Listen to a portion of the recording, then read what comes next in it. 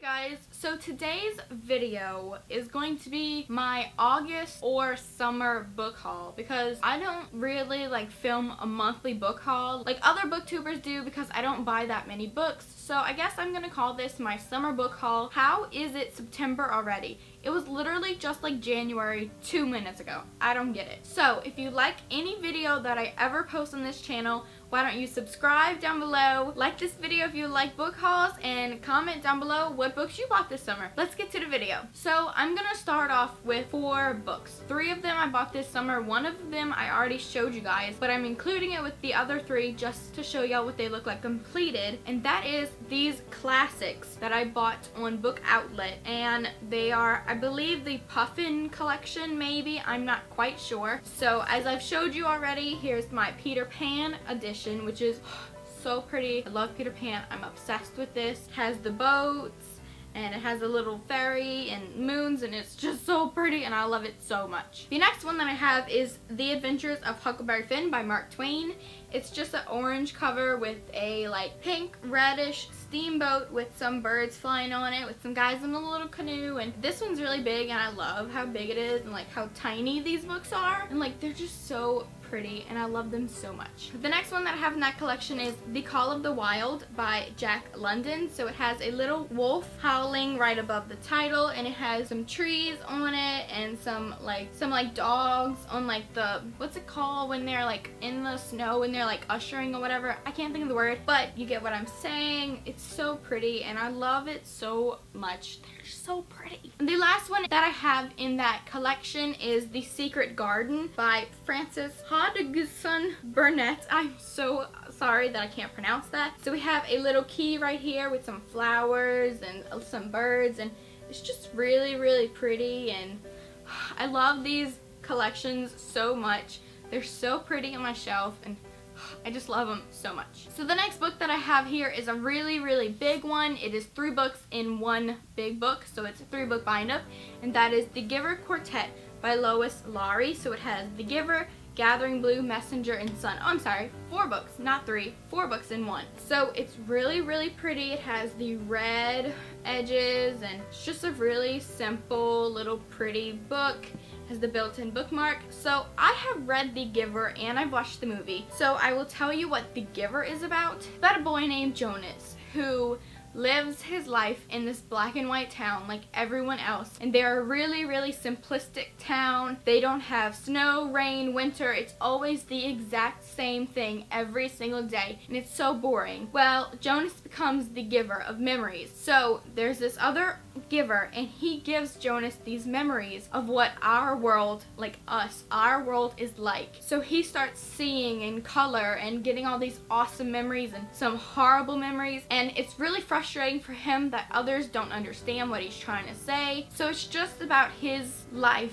figuring out what our world is like and what he is actually missing out on. And it's so awesome. I recommend The Giver to anyone, the movie and the book. I loved both of them so, so much. You should definitely go check this out. The next book that I bought is The Court of Mist and Fury by Sarah J Maas, which is a signed first edition. Um, I found this at a local Books A Million a few months ago and I didn't pick it up. And then my friend and I went back a month ago or so and I bought it. I don't even own A Court of Thorns and Roses. I just own the second book in this series, but I bought it mainly because it was signed. But what I gather from hearing about it from other people is is that it's a Beauty and the Beast retelling with fairies and stuff like that. This book, I've heard so many people, this is their favorite book of 2016 so far. I'm really looking forward to getting A Court of Thorns and Roses and starting the series because it just sounds so good. And I've heard Ma Sarah J. Maas's writing is awesome. I've never read any books by her, so I'm really looking forward to pick this series up soon. The next book that I bought is Fairest by Marissa Meyer. This is just the Levana story novel out of the Lunar Chronicles series. I believe that it comes after Cress. I'm not quite sure because if you read this you'll understand winter better which is mainly the reason why I bought Fairest was whenever I go into winter I'll know her story and all about her better because as of right now, I hate winter.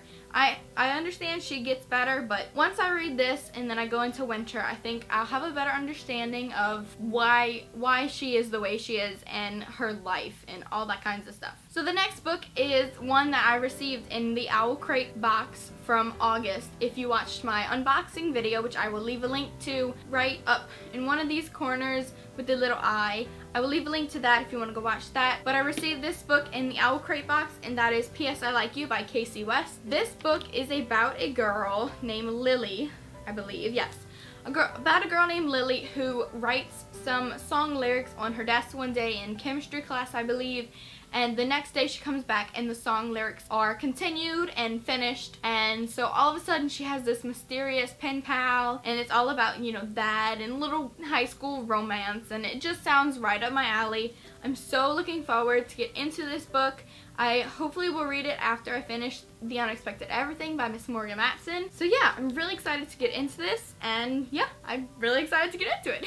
the last book of my summer slash August book haul is Another Day by David Le Levithan. I believe this is the second book in the Everyday like series or something. So he wrote the first book called Everyday and every day this person wakes up and they're a new person. And that sounds so cool. I have known about Everyday for a few years now from a teacher at school and whenever he talked about it, it sounded so interesting.